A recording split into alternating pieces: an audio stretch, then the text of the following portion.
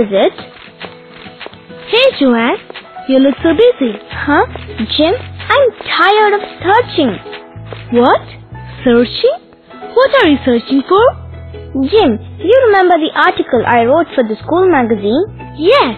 I remember I had kept it inside a book, but I can't seem to find it now.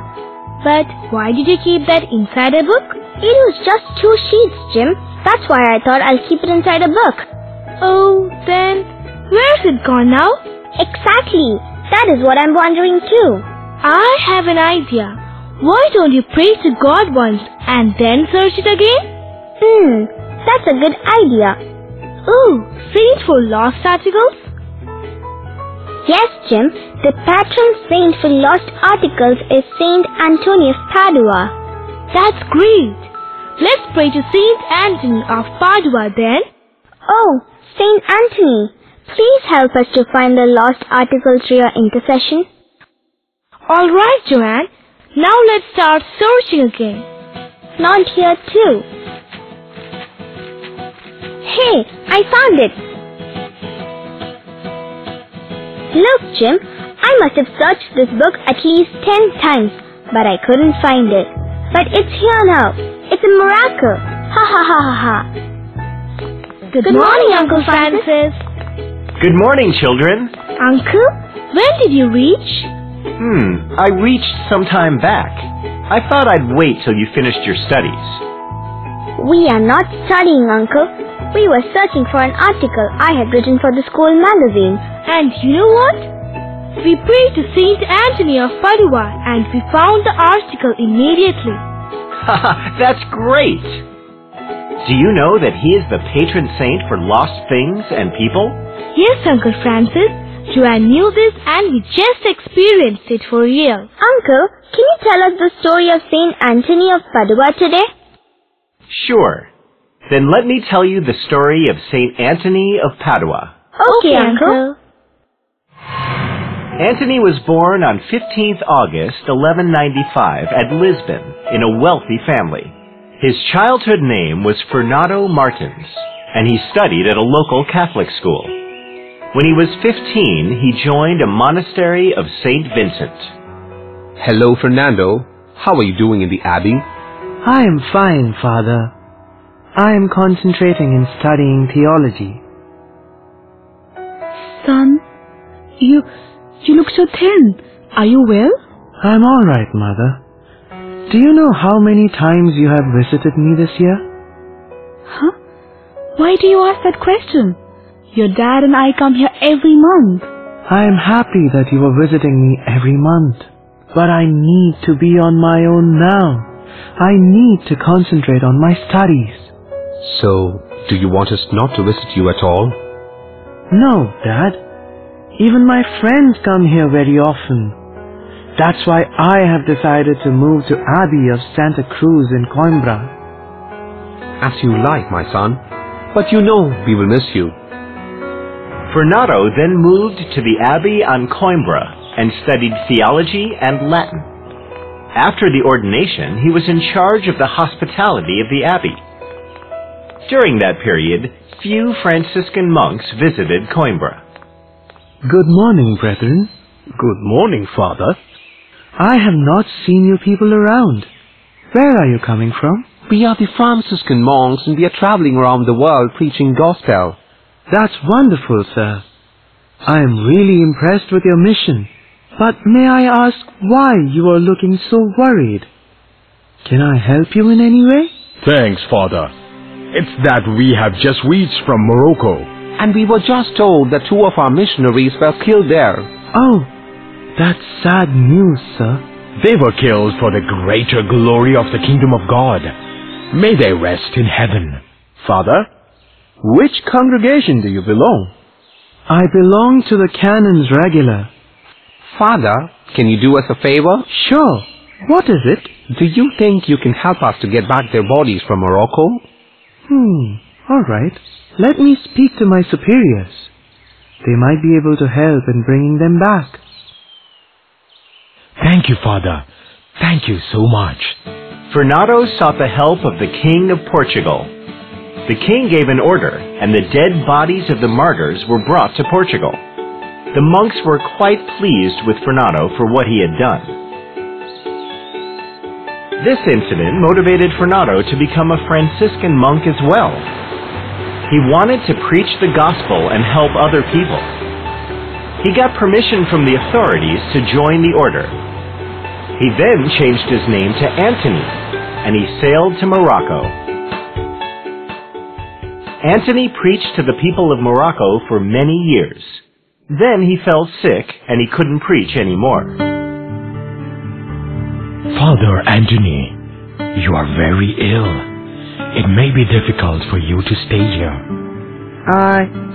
I think it will be better if you can travel back to Portugal. You will get better treatment over there.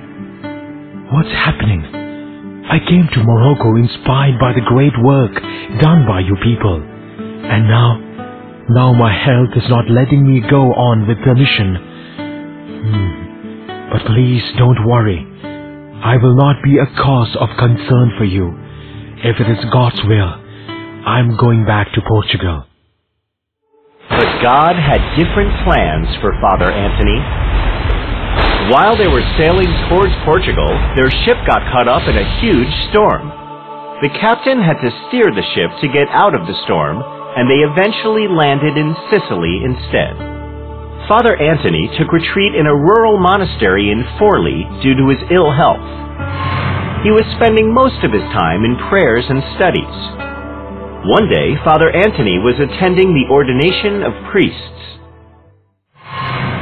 God, isn't it great to be here with the Franciscan friars during this ordination ceremony? The ordination is about to get over, who will be delivering the homily? I'm sure that the Franciscan friars will deliver the homily. But let's go and get a confirmation. We don't want any confusions in the last minute.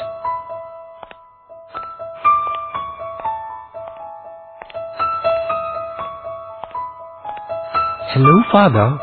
We wanted to know who will be delivering the homily today. Oh, we thought one among you will be giving the homily. What? No. Since you were here, everyone thought you will give the homily, and none of us prepared. Maybe can you ask your superior to depute a friar to speak? Nobody asked us to do that, and no one among us has prepared too. Oh, what are we going to do now?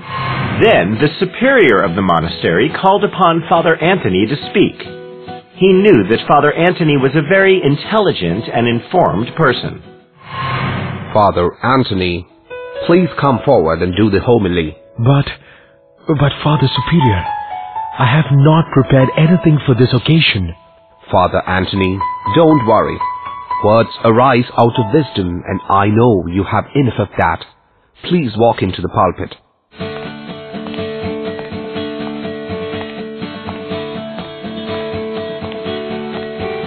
When Father Anthony started speaking, people were surprised by the knowledge and oratory skills of Father Anthony.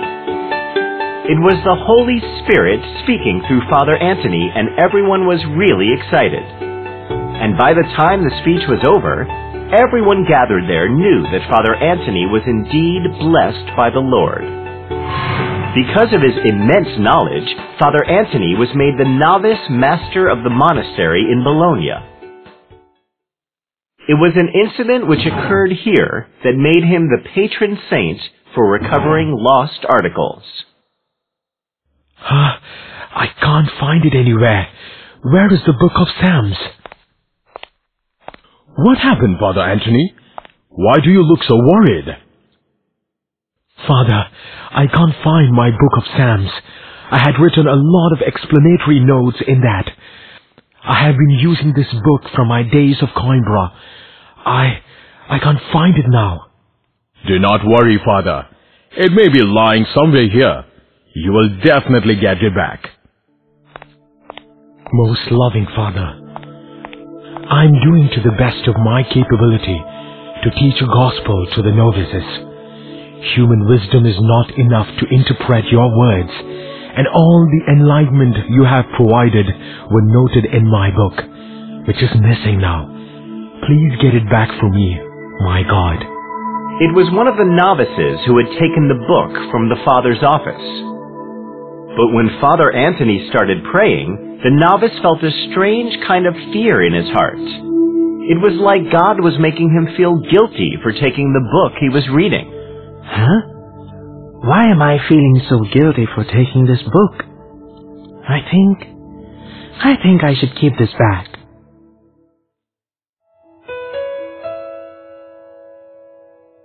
Huh? Oh, I am so relieved now. After his prayer, Father Anthony was pleasantly surprised to see the book lying in his cupboard. Thank you. Thank you, God. The supreme gift of preaching made Father Anthony very popular. After attending the general chapter of the congregation, he returned as the provincial superior and eventually settled down at Padua in northern Italy. In 1228, Father Antony served as the envoy to the papal court. Pope Gregory IX was very much impressed with his deep knowledge of the scriptures. Father Antony, I would rather call you the Ark of the Testament.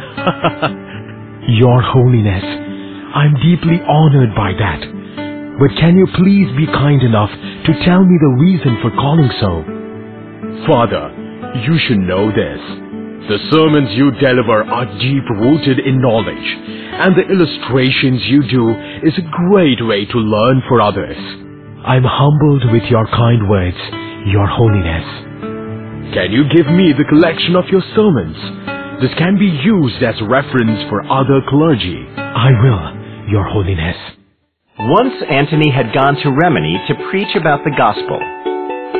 The people there were very rebellious and were spreading the wrong teachings about the church. Because of this, the people had stopped listening to Christian missionaries. Hello, brother. Can I tell you the good news from God? Huh? Hey, cleric! I have no time to waste. You may better find someone else.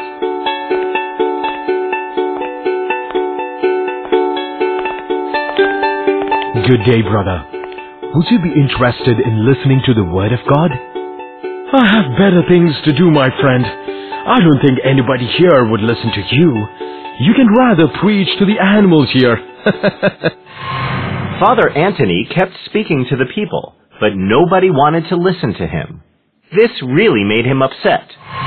Then he went to the outskirts of the town to the banks of the river Marecchia. He then started preaching to the fishes. Fish of the river and sea, listen to the word of God, because the heretics do not wish to hear it. Suddenly there were thousands of fish, all pushing their heads through the surface of the water, straining to hear Antony's words. It was a miracle. and when people came to know about this, they crowded at the riverbank to see with their own eyes. What? This is real surprise. Even the fishes are listening to him. Hmm. is indeed speaking the word of God. I believe in him now. When they saw this extraordinary event, the people of Rimini turned from their stubborn ways and returned to the church. Father Anthony converted many people to Christianity with his evangelic works. One day, in spite of his sickness, he went for a retreat, and on the way back he fell sick. He was taken to the Poor Clare Monastery for treatment, but he couldn't get well, and on 13th June 1231 he died. He was only 35 years old when he left this world. Uncle Francis, I have read that the children in the streets cried and the church bells chimed when the saint died. The legend says so. Another striking fact of his sainthood is that he was canonized within one year of his death, which is a very rare thing in the history of the Catholic Church. Joanne, you were also saying about the tongue of the saint. Is it true that the tongue of the saint had not decayed even after 30 years? Yes, Joan, the body of the saint was exhumed after 30 years, and it was observed that his tongue was intact. It was a testimony to the good evangelic work and eloquence he possessed. We are really inspired by the life of Saint Anthony, Uncle. We are going to read the Bible daily to gain more knowledge. That is an excellent resolution, children. All right, it's time for me to go. See you in the next episode. Goodbye, Uncle.